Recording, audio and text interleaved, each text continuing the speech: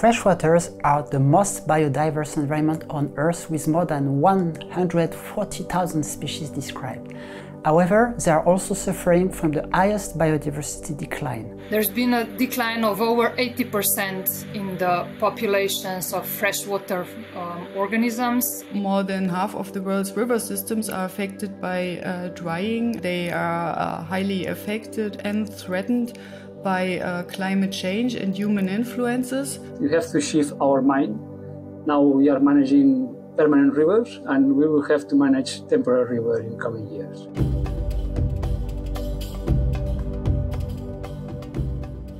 DRYvER is a European research project running for four years.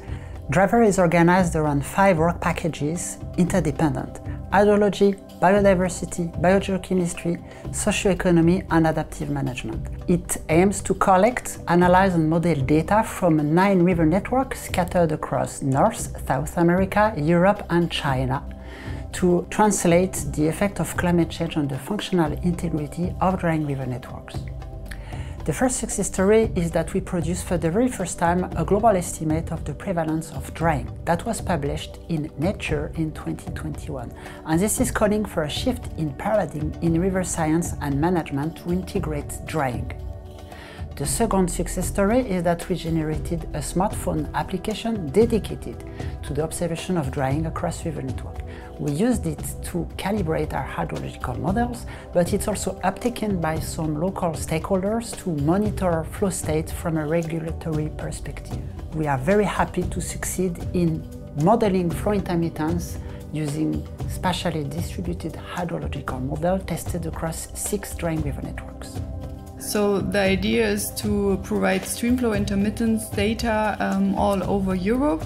And to achieve that, uh, first of all, ensembles of streamflow data, which are um, calculated by a global hydrological model, they are used and downscaled from 0.5 degrees to 15 arc seconds. And this is then, uh, the data is further transferred by using a machine learning model to receive drying patterns all over Europe. This data can then be used by, um, by other teams in DRYvER for, uh, for assessment or quantification of uh, these um, current and future impacts of climate change and um, the impacts on then biodiversity or ecosystem functions and services.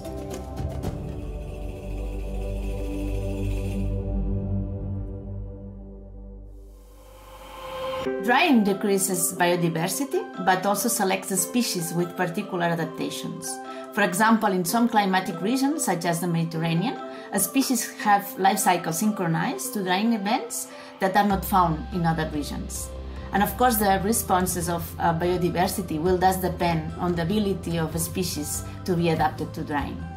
In addition, drying will not uh, only affect biodiversity, it will also cascade into changes in ecological functions and ecosystem services. And managers need to be ready to face this challenge, to adopt specific mitigation and adaptation actions, and to develop adaptive biomonitoring and conservation measures to preserve future freshwater ecosystems and their biodiversity. In 2040, 2050, we, are, uh, we foresee that we will have around 20% less water than now. And that means we will have problems in order to maintain minimum flow regimes, in order to preserve ecosystems in our rivers, and also to preserve uh, uses, water uses for, for uh, human activity. We are a part of the stakeholder committee in the DRYvER project. We are water managers from different uh, countries around Europe, from the north to the south. DRYvER project is the, the experts are working on providing new techniques, new tools, new nature-based solutions in order to be adapted to temporary rivers for us, for water managers, in order to be applied in our countries, in our rivers, uh, in our basins. We are focusing on nature-based solutions to mitigate the drying in catchments and consequently in rivers. For cities, these solutions are less nature-based, so to speak. For example, green roofs or green areas, enhancing water retention capacity of the city and rainwater harvesting from these kind of interventions can reduce water consumption in urban areas. But then there's also different kind of agricultural nature-based solutions, for example, mulching or drip irrigation or deep planting on, or selection of crops for less water demanding. But then there's also a restoration of natural ecosystems of freshwaters, which include remeandering or revegetation of river banks, which keep the water and retain water more efficiently than barren lands. It's crucial in a future project to couple the effect of drying with that of other human stressors, such as fragmentation by dams or contamination, to have a better view of the future of our freshwaters. This will guide river managers and policymakers to restore and conserve our river network in the face of global change.